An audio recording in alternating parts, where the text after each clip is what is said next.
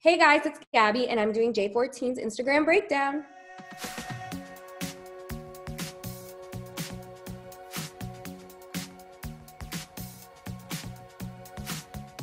Oh my gosh.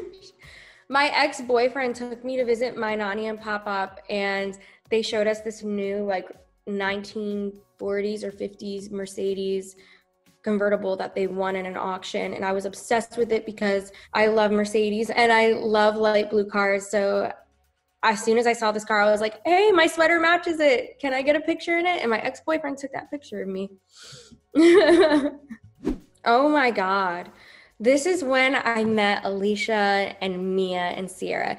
Niki and I met them for the first time this BeautyCon. I think it was BeautyCon summer 2013, New York City and we just felt like the boss and we wanted a picture in front of a taxi.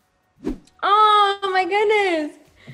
Oh my gosh. Fun fact this was like the second to last day of recording my album and i was so sick with viral pneumonia and i powered through it. I could barely sing. Like i had no voice.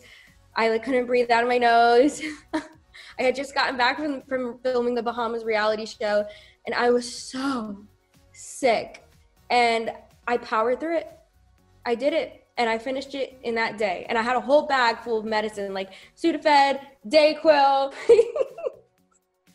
it was so bad, but I did it. I'm proud of myself.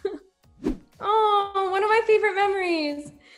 So, um, at the time, this is 2015, um, my publicist was the same as Selena Gomez's and we both well she got invited to the victoria's secret fashion show to perform and niki and i got invited to attend as guests and she kind of set us up at the after party and she talked to us for like a solid 15 to 20 minutes like she was in no rush she just wanted to talk and she was so lovely and so nice so nice.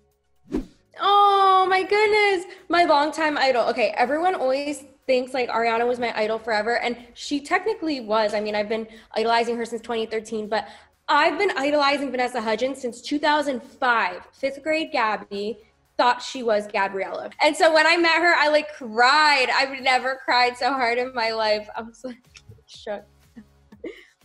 oh, this is the same day I met Vanessa Hudgens. I was in DC to see Gigi, um, the off Broadway or the touring Broadway show. Uh, yeah, same day.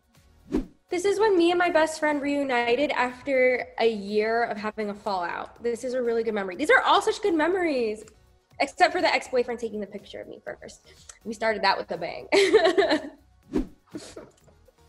my heart.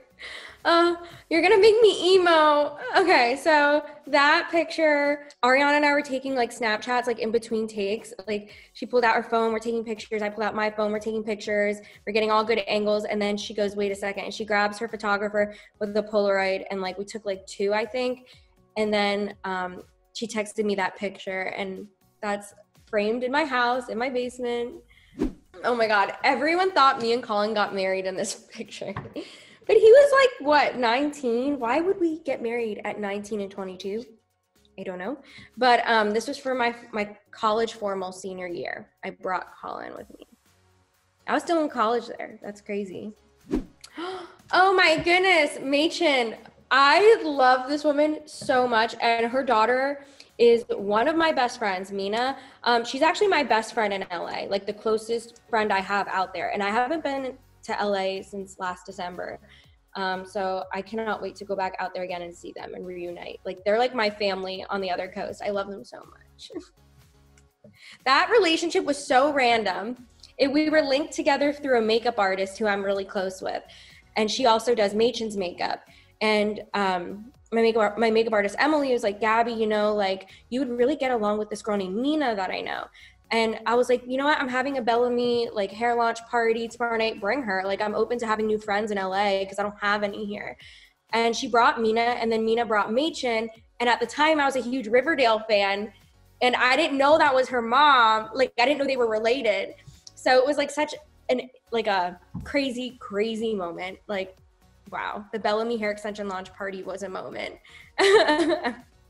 All right, guys, that was my interview. Make sure to check out Champagne Dreams on iTunes and Spotify, and I'll see you guys.